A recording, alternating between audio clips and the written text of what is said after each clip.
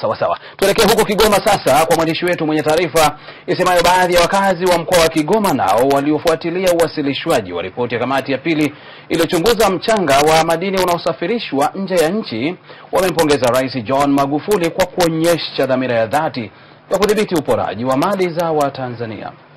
Wakizungumza na mwandishi wetu mjini Kigoma wakati wa ufuatiliaji uwasilishwaji wa taarifa hiyo, wakazi hao wamesema hatua zinazochukuliwa na Rais Magufuli zinapaswa kuunga mkono na kila Mtanzania. Mwandishi wetu Audex ana taarifa zaidi.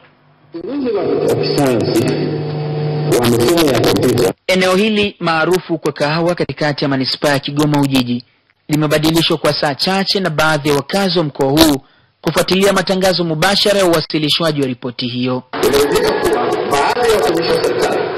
Kama unavyotazama hapa, hali ni tofauti. Taswira ya eneo hili ina akisi mwonekano mwingine tofauti na ilivyozoeleka, maana hapa hakuna mazungumzo ya nani kafanya nini, anaishi wapi au nipe umbea.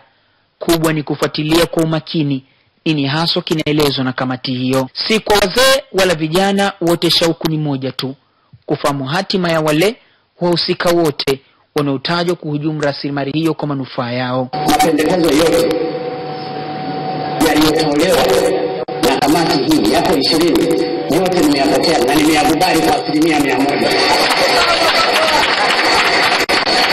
Baada ya hotuba ya rais, wakazi hao wakawa na maoni yao. Rais ashughulikie watu wote hao waliofanya ubadhirifu, ikibidi na akaunti zao zitafutwa kwa sababu ni mali nyingi. Huku wengine wakitoa angalizo. Maamuzi ya kamati dhidi ya watuhumiwa wale ambao wameonekana ndani ya kamati bado hayatakuwa na nguvu kama haitoondolewa kinga ya kuto kushtakiwa kwa marais waliokuwepo madarakani. Na kitu kingine tulisema kwamba wanasiasa waache mambo ya siasa zaidi, waangalie kwamba ni kitu gani tukifanya kwa ajili ya Watanzania wote, kwa sababu hili swala ni swala kwa ajili ya Watanzania wote, sio kwa ajili ya chama wala kwa ajili ya mtu binafsi. Pamoja na hayo yote, wakazi hawa wanakiri kuona uthubutu wa Rais Dr. John Magufuli kwa maendeleo ya Watanzania. Kwa kwa namna hii anavyoenda, tuna imani sasa, kama imani hii itaambatana na matendo, na imani swala nchi hii itapiga hatua. Egidius Audax, TBC, Kigoma.